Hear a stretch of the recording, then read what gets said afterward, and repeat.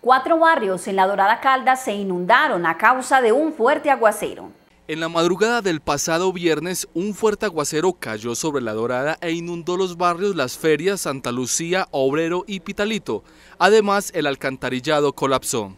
Fuentes oficiales afirmaron que el nivel del río Magdalena está a 4.30 metros, lo cual no tuvo que ver con la inundación.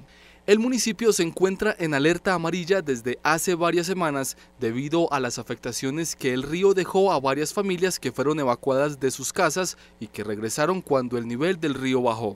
El gobernador encargado de Caldas, Ricardo Gómez Giraldo, indicó que Empo Caldas limpió las alcantarillas.